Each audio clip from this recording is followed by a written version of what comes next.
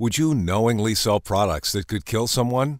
That's what many manufacturers of asbestos containing products continue to do, even after learning that asbestos exposure could be fatal.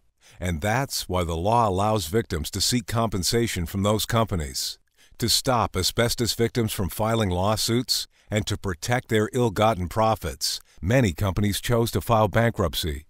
But the courts held strong, saying you can file bankruptcy, but you'll have to put aside money to pay those who have been killed or harmed by your asbestos containing products, and for others who may become sick, even if it takes 40 to 50 years longer.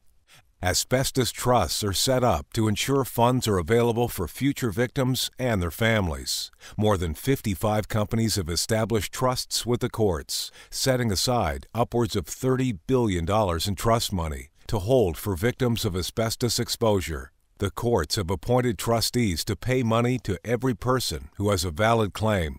30 years later, and contrary to popular belief, the trusts are still paying victims today. Victims of asbestos related cancers do not have to go through a lengthy trial to receive trust money.